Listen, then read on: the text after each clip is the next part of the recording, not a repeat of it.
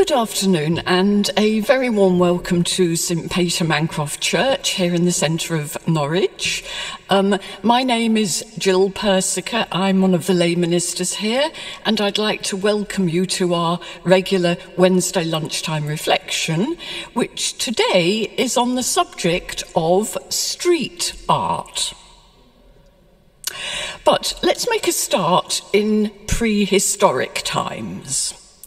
Take a Stone Age person, give them a cave wall and some pigments, some, some charcoal and animal blood or whatever, and what does that person do? They make art. They cover that cave wall with animals and people and handprints and so forth. Give a modern toddler a newly decorated kitchen wall and a handful of crayons, and what do they do? Yep, they do something very similar a bit of exuberant and colourful self expression.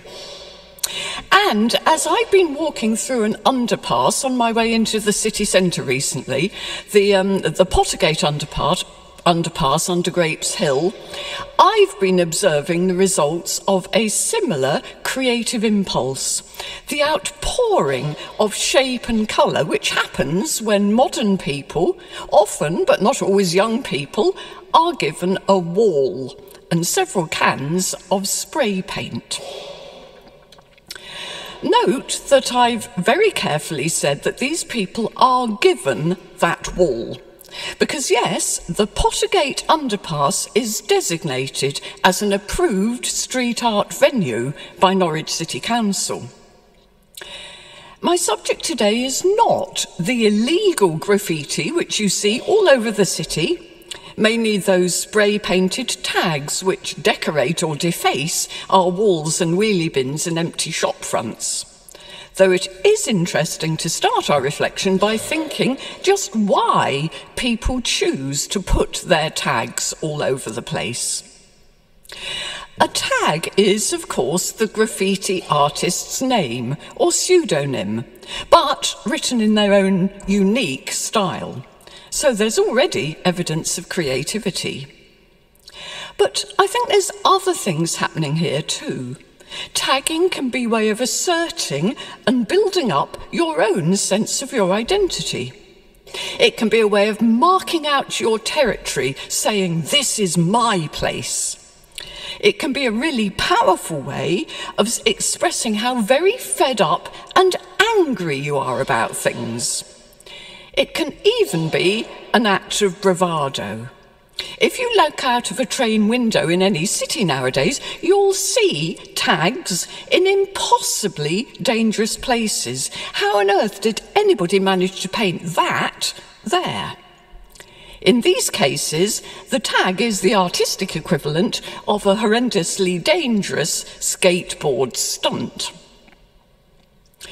But back to the Pottergate underpass, which is at present mostly decorated with artists' tags. But these are not just swift monochrome sketches, they're highly designed images, brilliantly colourful, and they're often really sweeping in shape because that, that's what happens quite naturally when you have a can of spray paint in your hand. I've stood and watched some of these young artists at work, and I've been really impressed in many ways by their preparation and discipline and their skill, and by their intense focus while they're working. And I recognise all of these characteristics from watching other, much more conventional artists at work, people like watercolourists and painters in oil and so forth. But street art isn't individual work neatly framed up. It's painting on public walls which are already smothered with colour so that the shapes overlap and they partially obliterate each other so that the whole thing looks rich and layered and just bursting with life. Pottergate Underpass has become a kind of community artwork. It's modern folk art in a way, and it's constantly changing. This kind of street art is remarkable for its transient nature. its impermanence. Now, I don't know if you've ever seen one of those pavement artists at work. There's one who makes fairly big pictures on the ground at the bottom of Norwich Market during the summer. He uses coloured chalks, of course, not spray paint, and he makes incredibly detailed and skillful artworks. And here's a question for you. If you were his final viewer, the last person to be there when he packs up and goes home, would you then feel comfortable walking straight over his picture and thus beginning to destroy it?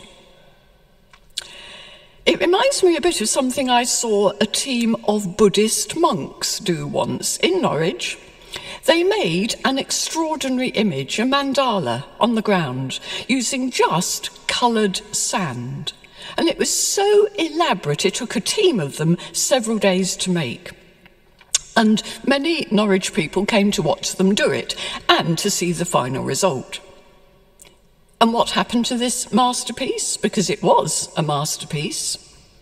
Well, one of the monks got a broom and simply brushed it away.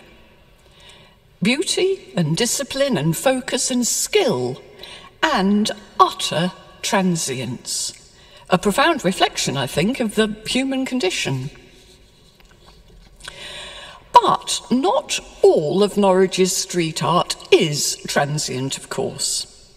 If you live in Norwich, you may, if you've got your eyes open, be aware of the big permanent murals dotted around the city centre. There are nine of them in total, and I think they were um, commissioned and put there as part of the Norwich City of Stories initiative. And my favourite mural is the huge red dragon called Snap the Dragon, which you can see if you look high up across the road from the corner of Marks and Spencer. Dragons and Norwich go together, of course. We even have a wonderful medieval hall called Dragon Hall. And so this enormous mural not only cheers us and excites our kids, but it also says something really important about the history and the culture of our city. And then you only have to walk a couple of minutes from Snap the Dragon to come to another mural, painted on both wall and ceiling of the tunnel that runs up to Castle Meadow from the Royal Arcade. I particularly love the ceiling, which includes a quote from the great Persian poet Rumi.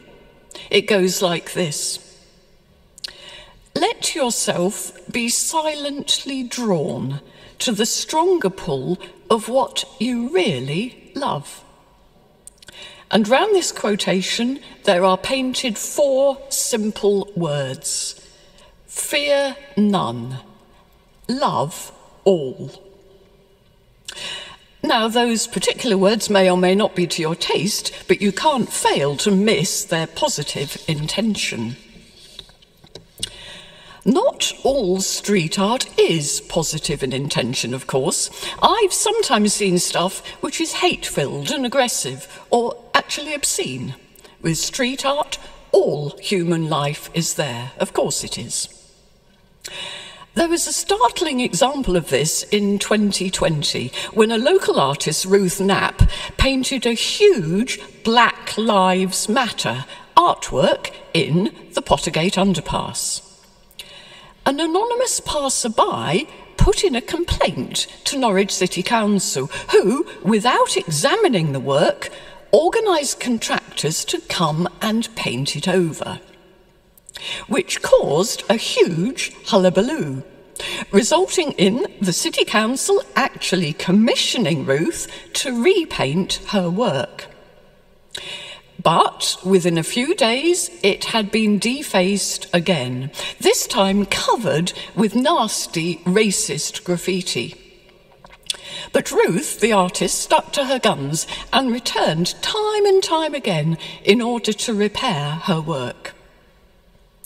This, I think, is street art really doing a job within the community, raising an important issue and then provoking a kind of public debate by spray can. something important happened with that mural, in my opinion, and it made a lot of people think. I could go on and on about our local street art. I'm a great enthusiast. And I've been asking myself just why it feels so very important to me. I think it's partly because Norwich is such an extraordinarily beautiful and historic city, of the, of the kind which can sometimes become rather precious and touristy, like, like some kind of heritage experience. And so it does feel important that there's also something edgier on view in our streets, something really contemporary and at times a bit challenging, something which shouts assertively, hey, this city is alive now. But above all, the street art I see connects me with the people who made it. People who are very different from myself, to be honest but people who have many of the same concerns as we have in this church concerns about human identity and belonging, burning indignation at the sheer blooming injustice of this world, an interest in creativity, and a profound acceptance of the transience of things. Creating and attending to art is a wonderful way of bringing people together, and it's something lovely in the eyes of God. Thank you very much for joining me for today's reflection, and I wish you every blessing for the rest of the day.